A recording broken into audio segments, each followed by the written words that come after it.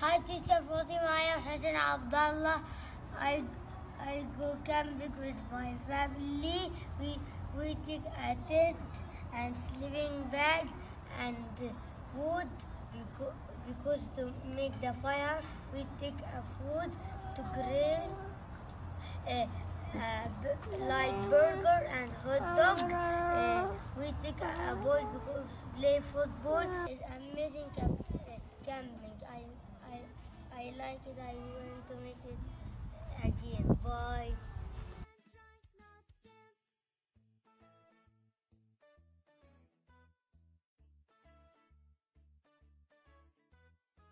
We play around the campsite, having lots of fun all day.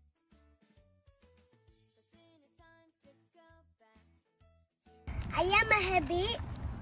Um, I am a happy and I want again. Repeat. Repeat again. Gulam.